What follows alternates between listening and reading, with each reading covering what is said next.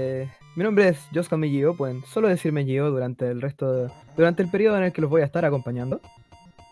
Em, tenemos una pequeña lista de juegos tenemos una lista de juegos bastante entretenida para lo que se viene ahora. Con Robocop siendo el siguiente juego que vamos a tener. Robocop. Si alguno de ustedes alguna vez eh, ha jugado eh, algún juego de. NES que está basado en una película, sabrá perfectamente que son juegos bastante malos. Estoy tratando de cargar el stream, ¿me pueden dar un segundito?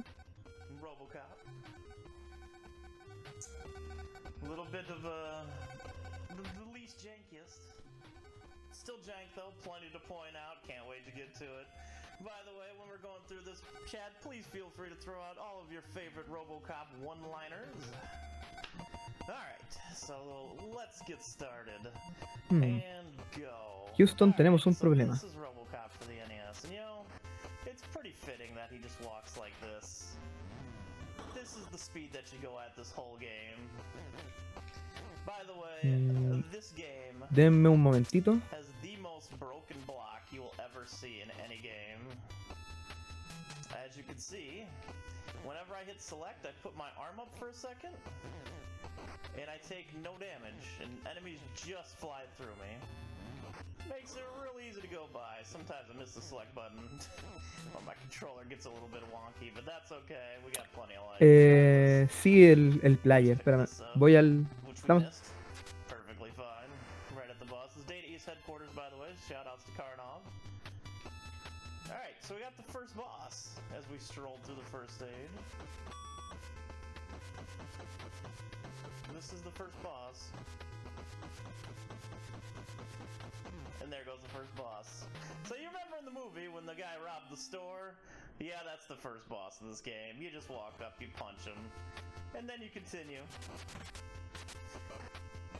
This is one of the most pacifist runs you'll ever see, one of the easiest speed runs you'll ever do, and probably one of the most fun. It's actually a pretty fun game. But as you can see, the, the enemies in this game, nothing but generic. Hemos solucionado los problemas y aquí estamos con este precioso juego, eh, Robocop para NES. Eh, llevamos un minuto 31 de lo que podría ser una ronda de 15 minutos más o menos. Eh, este juego es Robocop caminando y golpeando gente. Eh, el juego. O sea, aquí tenemos a un robot gigante que si alguno de ustedes ha visto alguna vez la película de Robocop, eh, probablemente sepa que Robocop es básicamente indestructible. Y, bueno, aquí es un robot que camina, golpea gente y entra en puertas. Em, por supuesto, también es un robot que puede hacer moonwalk y golpea paredes. porque, sobre, porque de esto trataba la película, definitivamente. Eh, obviamente quiero llamar la atención al hecho de que este es un juego de Robocop que en su tiempo era una, de las películas más violentas y sangrientas que habían salido en, en el cine. Y sacaron un juego para NES para que tus niños pudieran jugar el juego tranquilamente. Y por supuesto, eh, cómo mueren lo- los enemigos es muy divertido, como saltan como si fueran un pez en el aire. es un juego que, por supuesto, eh, es especial. Aquí tenemos el, el shooting range. eh, claro, ya que no pueden ir al cine, jueguen el juego de Robocop. Eh, claro, aquí tienen un shooter de NES, porque los shooters de NES eran muy entretenidos. Donde Robocop está practicando su puntería, su increíble puntería. Y sí, están hablando de que, bueno, esta parte, esta fracción del, de- del juego es algo que no volveremos a hacer durante básicamente todo el juego. Es un minijuego que aparece aquí y no vuelve a aparecer. Porque obviamente si tienes un juego de NES que tu objetivo es venderlo y tú sabes que no es muy bueno, tienes que añadirle algo extra para que se parezca contra, por supuesto. Eh, volvemos al robot que no va a estar matando a los enemigos, va a probablemente caminar y, y hacer damage boost por casi todos los personajes en el juego. Eh, le dispara a un tipo que está que no le permitía pasar por la escalera. Deja que le peguen en, el, en la armadura y sigue caminando. eh, porque así es como funciona un policía robot. Ok, eh, no quiso subirse al elevador, pero ya se subió al elevador y ahora eh, continúa. Claro, van a ver bastante Moonwalk en las escaleras, porque es una strat que sirve para apuntar. bueno, no hizo Moonwalk ahora, pero ahora sí lo hizo. Eh, sirve para apuntar a los, a los enemigos que están arriba, que no te dejan, eh, que no te dejan avanzar. Y también podemos hacer Moonwalk bajando las escaleras, que eso es algo que no recomendaría que intenten en casa, porque probablemente si quieren hacerse el Robocop, lo único que van a tener de Robocop es que van a tener que ser Cyborg. Eh, bueno, aquí tenemos el siguiente elevador, del cual hay que esperar porque esto es un juego muy realista. Y por lo tanto es necesario esperar.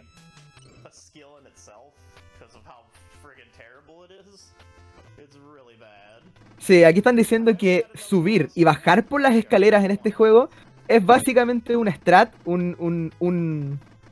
Es básicamente algo que necesitas practicar, porque eh, los controles del juego son tan malos que necesitas realmente una buena coordinación de cómo presionas tus botones para rápidamente eh, en subir y bajar a las escaleras. Alguien piensa en como las escaleras de los Castlevania clásicos, pero 10 veces peor. Y ahí tenemos, rápidamente flasheamos con la súper buena cinemática de Robocop hablando, donde lo único que hicieron para animar a Robocop hablando fue eh, hacer que sus labios se movieran. Nada más. Solo los labios. Es una imagen estática de Robocop con unos labios eh, exagerados, hablando como un idiota. Y es una de las mejores cosas que tiene este juego.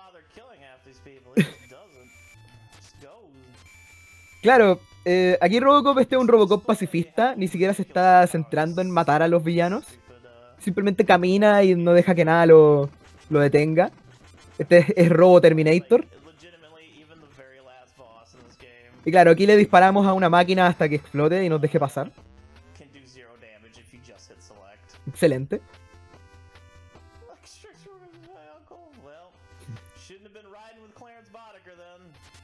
Y aquí volvemos a subir a la siguiente parte de este nivel. Donde volvemos a ver la misma estrategia de este Robocop caminando, el juego. este, es uno- este es mi Walking Simulator favorito, a decir verdad.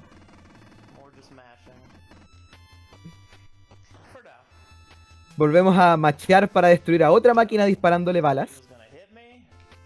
Seguimos avanzando y dejamos que alguien nos dispare y no, nos importa. El tipo ni siquiera se da vuelta para seguir disparando, te dispara una vez hacia adelante y después tú, tú pasas por el lado de él y sigue disparando hacia adelante porque así es como funciona ser un enemigo en un juego. Aquí tenemos a, a, a 209 y claro, eh, apretar Select en este juego evita el daño, por algún motivo. Eh, y por lo tanto no recibe daño por los golpes que le hacen los jefes. Y literalmente ni siquiera le importa al apretar Select. Básicamente el juego funciona en apretar Select y caminar.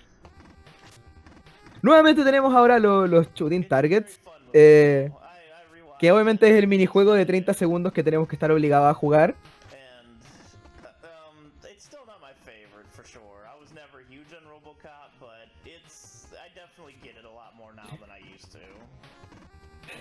Y bueno, esto es Robocop, básicamente eso es. No podemos esperar mucho más de un juego como este, la verdad. Se nota que era un intento de, en el periodo de, de ganar más dinero con una franquicia que se hizo famosa. Así como Robocop sacó Robocop 3, así ya sabemos cómo terminó eso. Em, luego seguimos, luego pasamos al siguiente nivel. Sí, bueno, básicamente esta, esta, este nivel está basado como en una parte de la película donde alguien cae en una, en una, en un, como, no sé si era un recipiente, digamos recipiente, ¿ya? Porque no estoy seguro qué, era, no, no recuerdo muy bien la película. Pero cae como un recipiente de, de desechos tóxicos y decidieron hacer un nivel completo basado en esa idea. Porque probablemente estos tipos tienen tanta idea de la película como yo.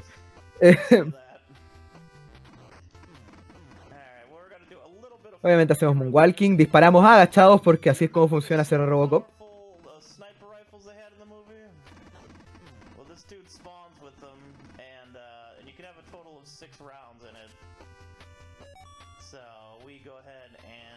Bueno, eh, aquí estaba hablando de que eh, alguien, hay, una, hay unos sniper rifles, unos rifles de francotirador en la película, que eran extremadamente poderosos y extremadamente fuertes.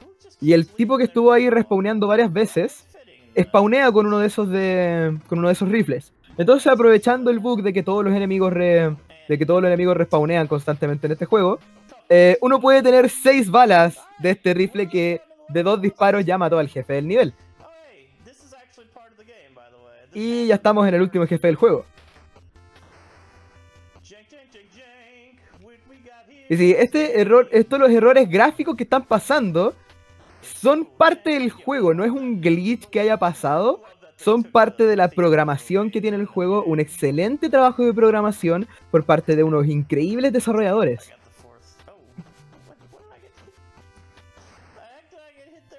Por supuesto, eh, como el juego ya nos estaba torturando con lo lento que se movía Robocop, nos tienen que colocar en una, en una máquina que constantemente nos está empujando hacia atrás mientras nos dispara un helicóptero. Pero realmente no le importa porque es Robocop y estamos llegando casi al jefe final ya.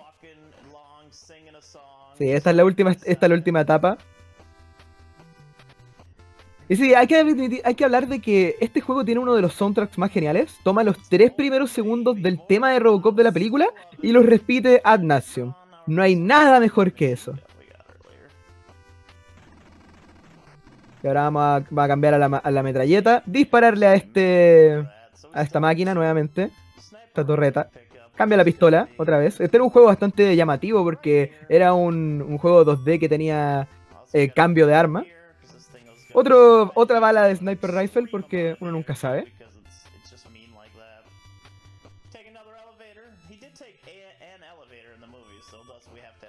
Tomando otro, otro ascensor porque este, obviamente aquí estamos viendo un paseo de Robocop día a día. Super Sniper. 3, 4, 4 balas. Select para evitar el daño. 6 balas. Y pistola. Y Don. Eso fue el juego.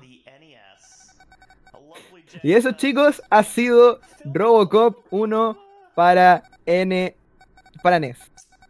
Bueno, Por si no que- por si quieren algún día jugar este juego y aquí va eh, no, no sé si la vamos a ver. No, la vamos a ver. Bueno, Robocop disparando y el, personaje muriendo. Y gracias por su cooperación. Gracias por cooperación. No causen problemas.